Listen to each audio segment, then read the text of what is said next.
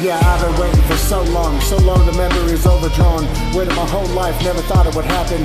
The angels above must have gave me a blessing. So one fateful night it happened.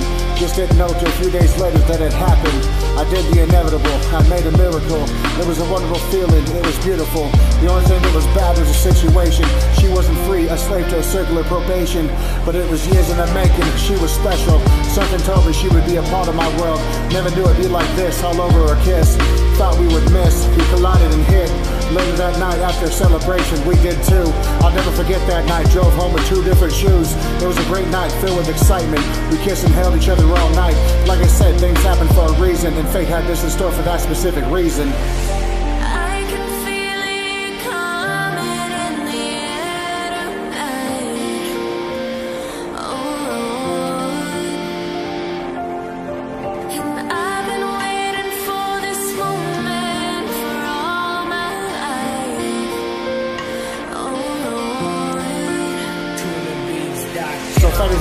Make. Do what you want, it will never change. This little miracle I feared for years. Although I already am, this is new, bringing tears.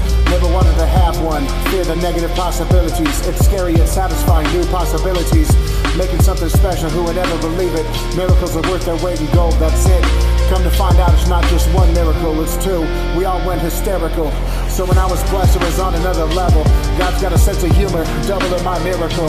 I guess he thinks he's funny, I'm getting that first. But when it all set in, we will make it work.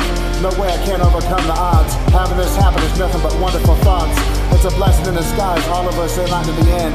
Two more reasons to become happy again. I just want to say thank you, God, amen.